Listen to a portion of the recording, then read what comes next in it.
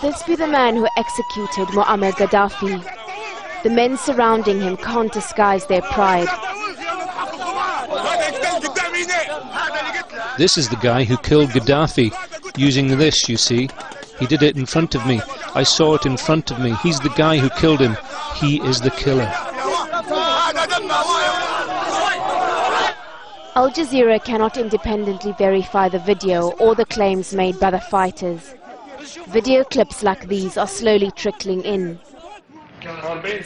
They'll likely come under closer scrutiny in coming days as the UN rights organizations and more recently the United States back an investigation into the deaths of Gaddafi and his son Mutassim.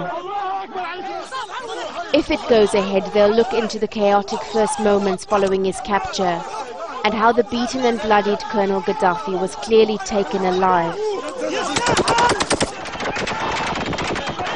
But in what appeared to be a short while later, was seen again apparently lifeless. From the moments he was dragged from the train during a gun battle, there have been many versions of what happened. First it was said he died of his wounds on the way to the hospital, until reports began circulating that it may have been an execution, possibly with Gaddafi's own custom-made gold pistol. There have now been suggestions by the NTC that he may have been killed in crossfire or by one of his own men.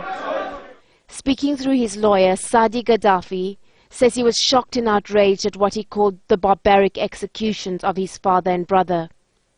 He also said it was clear that no person affiliated with the former regime could receive a fair trial in Libya.